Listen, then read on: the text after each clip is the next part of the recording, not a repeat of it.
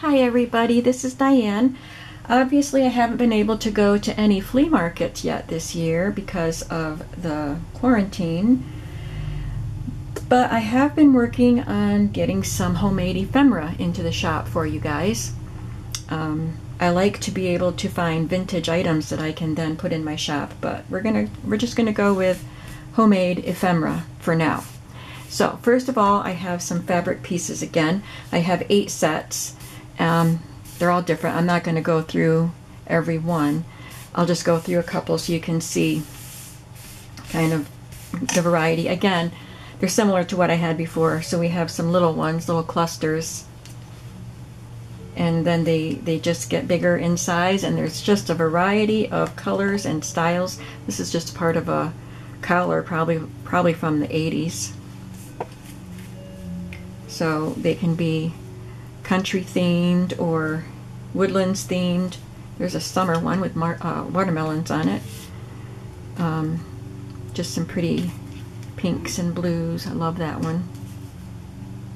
This is actually from, I don't even know what it was, piece of linen, and this is how it was hemmed. It had this heart on both sides, both ends of it. So I just cut the ends off and sewed a piece of lace to the top. And we have two of these. And then there's another piece that was in the middle that I actually sewed some fabrics to and made a flip out of it. Just gonna separate them by paper bags so I don't get them mixed up. Let me go through another one.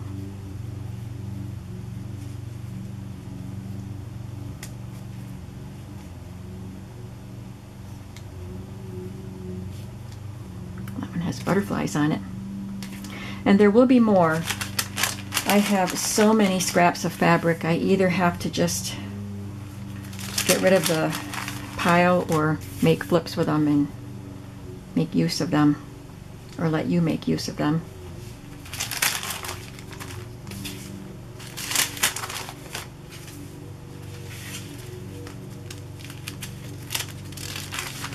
So I have eight bundles of fabric flips.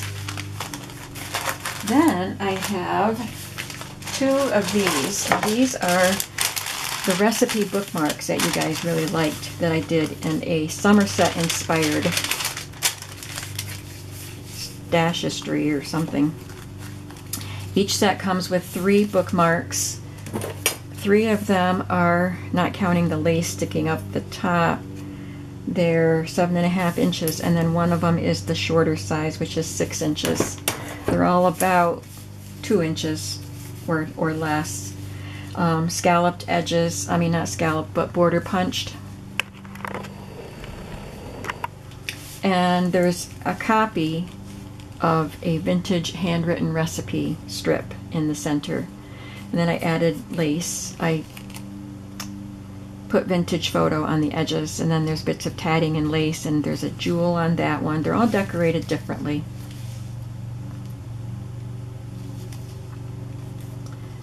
I used I used a lot of my flat back embellishments because I didn't have a lot so I'm going to have to look for some of those.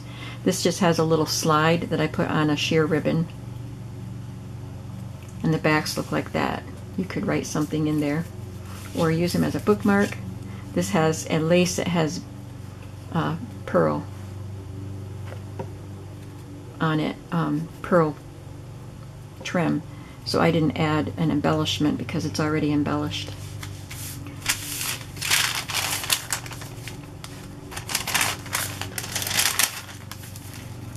Okay, this one has the metal piece at the top. That's the short one. We have this one with the ruffled eyelet and cameo. This one has a blue jewel on it and some blue lace at the bottom. And then this one has another slide with pink and green trim. Okay, and then each one is going to come with a dozen of the punched tabs from the Stampin' Up! whale tail tab. You just fold them over and glue them onto your page. So it's just a variety, some solid, some printed, and you get 12 of them. I took a bunch of scraps and punched till my hand got sore one night. So I have two sets of those.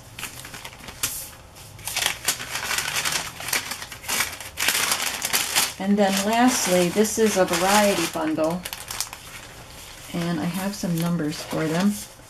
I have six different sets and I am going to let you choose the set for these. So this is going to be set number one. Now some of these have, some of these are the same in all of the bundles and some are different because I made some items specifically for putting these bundles together and then the rest of them are things I pulled out of my stash so they're all different. So again a bundle of handmade of uh, a dozen tabs and I think for all of these I put three of each or tried to yeah so there's three of this one three of the blue three black and three of that pattern so there's two solids and two patterns the other ones I just showed you were much more random. I just grabbed 12 and threw them in a bag. These were more specifically chosen.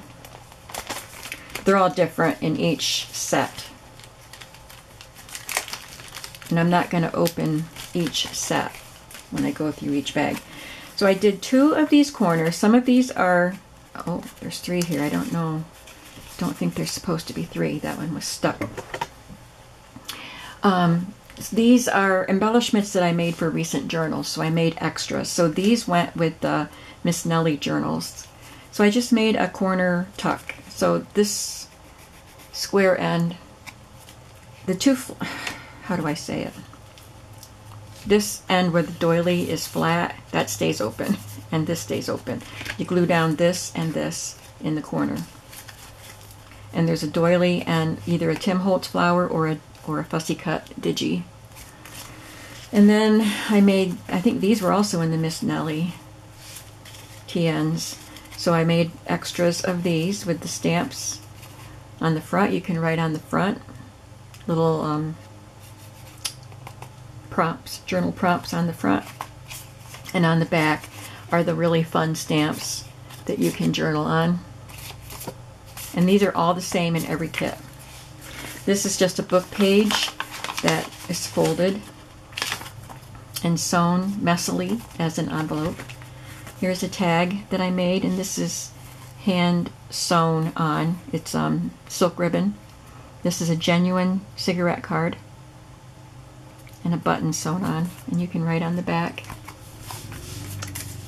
This one is stenciled or sprayed. It's got corrugated, painted corrugated cardboard and a cutout from a book. It's got corner punches, and you can write on the back. And this is a handwritten recipe with um, scrapbook paper, recipe stuff, just a little strip sewn in between, and it's sewn to coffee dyed paper. So it's quite an eclectic bunch of stuff here, and this is set one.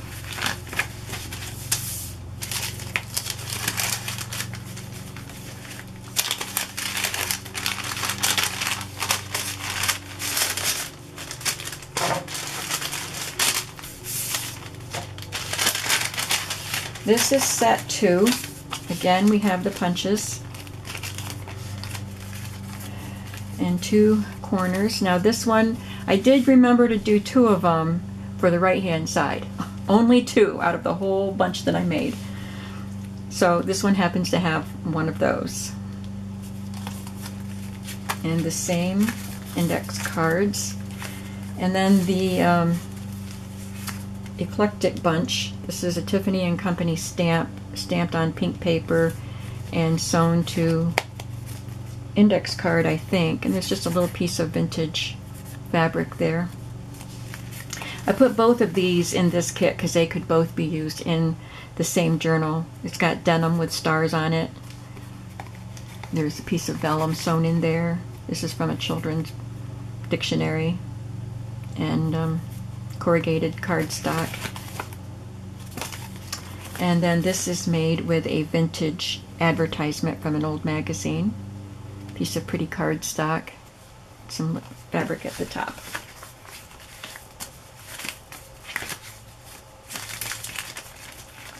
Set two.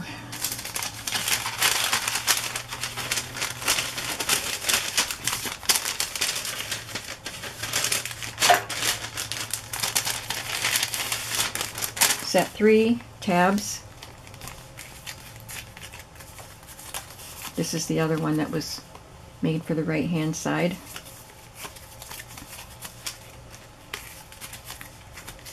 Here we have a book page that was cut with a Jillibean Soup sack die.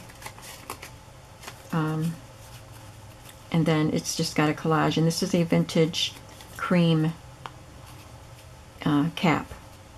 This is, I think that's a vintage ticket and some vintage lace.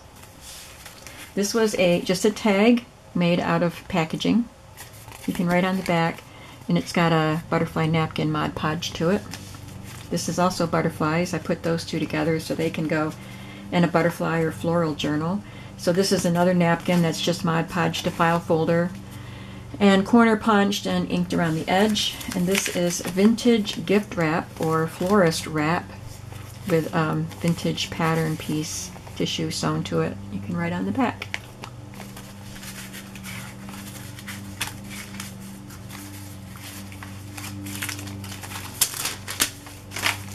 Set three.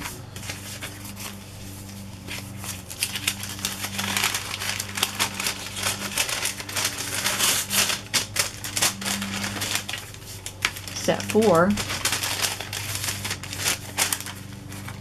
Tabs. these things and the two corner pockets, tuck spots. There's a large tag that has pockets and it has several tags included inside the tag. Tags in a tag. Here's another piece of packaging that I made into a pocket with some mulberry paper and a digital postcard. And you can trim that if it's too big.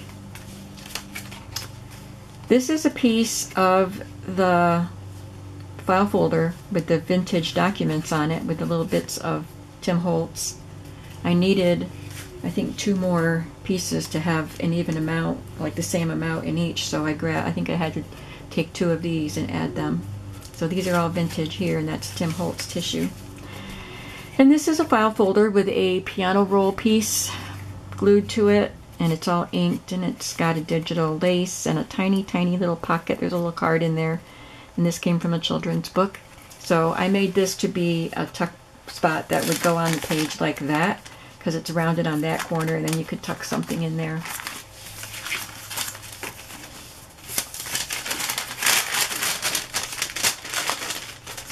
Number five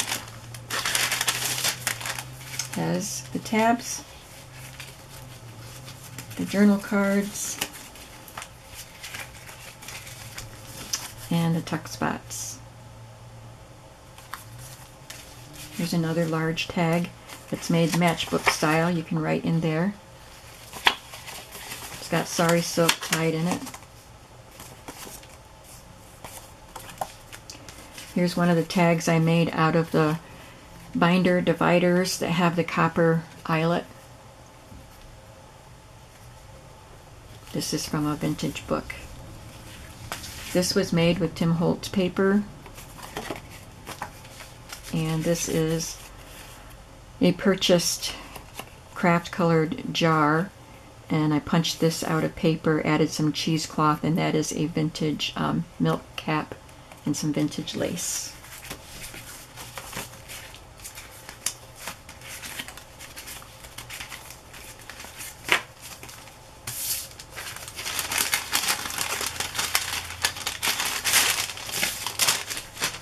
And number six. Here are the pockets, tuck spots. I think every one of them had one Tim Holtz and one Fussy Cut. I don't think I did that on purpose. Here's more of that Prima packaging, and I made a tag out of it with this cute little girl glued on and some sari silk. It's glued uh, coffee dyed paper. This is an index card that comes out. It's slotted in there. And this was in a metal flip file thing that I got at a flea market. And I just collaged some stuff on it. You can journal on the back, you can write on the card. This is made with coffee dyed paper and some book page. And this is a book page image. So is that Gone with the Wind. And this is a digi and some lace. So this could be a tuck spot also. Glue it here and here and tuck something in there. And then lastly, we have a coffee dyed glassine bag with a collage.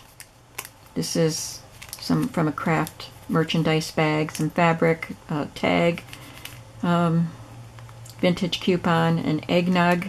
This is vintage. Milk bottle cap, and a bit of lace. And that is set number six. And that's what I have for ephemera packs. I have the fabrics, the bookmarks, or, or long skinny tags, and the um, mixed ephemera sets, okay? So come on over to my shop and check them out. If you purchase more than one item, I combine them and refund excess shipping. Thanks so much for watching, and I hope to see you at my Pretty Pink Cottage, which I will link below. Bye-bye.